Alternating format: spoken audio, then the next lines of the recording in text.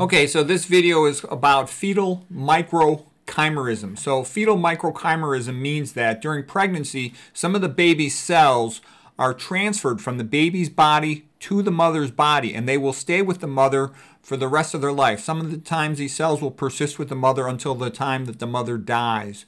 Um, and they have some beneficial functions in the mother. They help with wound healing. They're thought to, you know, have some mutually beneficial interactions between the baby and the mother. Okay, the word chimera comes from Greek mythology. It was an animal that was a combination of more than one type of animal. So that's where the word chimera comes from. Um, this is a diagram showing that, let's say this is the mother with her first pregnancy. Some of the baby's cells come into her body. So that's fetal microchimerism. Um, and they say it's associated with mother's intuition for her child. I can remember when I was young, it would seem like my mother could read my brain sometimes. She'd say, look me in the eye.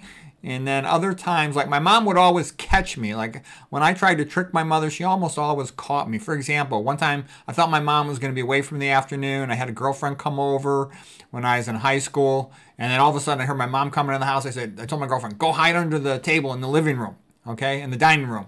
And so then my mom just, you know, walking around doing whatever she's doing. Uh, and, uh, she walks out to me and she says, Peter?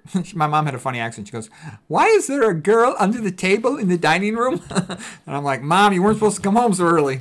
So, um, anyways, it was, uh, it's nice having somebody who really understands you to run your thoughts by. Um, let's see, what else? It also occurs in other other mammals like mice and dogs. Um, it happens as soon as the seventh week of the pregnancy. If a woman has an abortion after seven weeks, she'll still have some of the fetal cells in her body. They can persist for her entire life. They can help improve her immune system and help her to heal.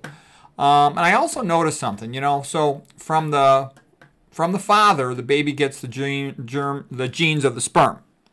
From the mother, the baby gets the genes, you know, from the mom, from the egg. Okay. Um, the baby also gets the cytoplasm of the first zygote, you know, the combination sperm and egg, from the mother, gets the mitochondria from the mother, gets some maternal microchimerism from the mother. So when you look at it this way, you know, at first when I heard this, I was a little sad. I'm thinking, oh, gee, I wish my kids were more like me, less like their mother, okay? But then I realized something.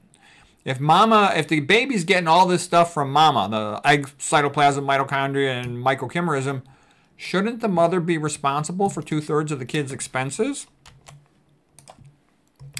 Okay, now here is a picture also talking about, you know, some of the immune system. There's some immune benefits. And it's also thought there's some other interactive things that the microchimerism seems to influence, seems to, you know, encourage more milk production, things like that. So anyways, I thought that was kind of interesting. Okay, that's all I got for this one. I hope you enjoyed it.